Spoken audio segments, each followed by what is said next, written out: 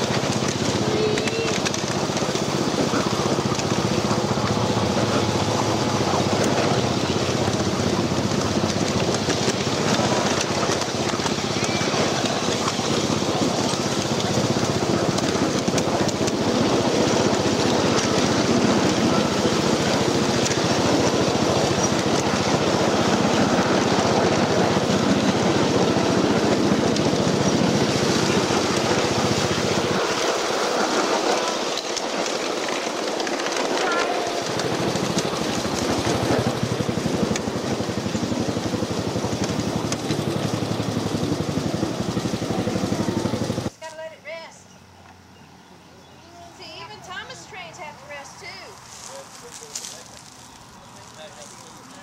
too.